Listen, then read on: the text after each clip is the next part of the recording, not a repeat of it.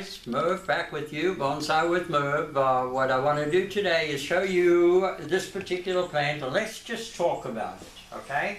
It's a plant that came out of the nursery. It's uh, Juniper parsonii. Uh, a couple of years old. It's developing some growth all over the base here. As you can see, that at one time I actually cut this branch off. You know, basically wanting to create more closer branching there.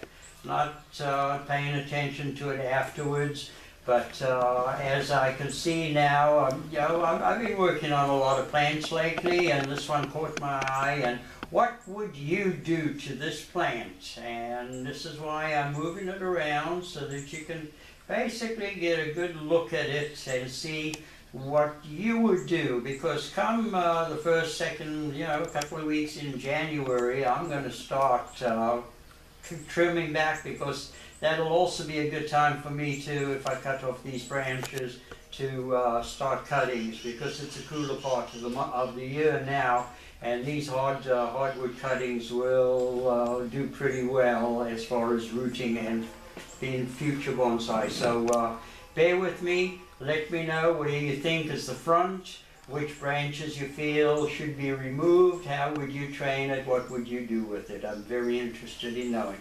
And at the same time, we're going to we're going to show next year. Do take care.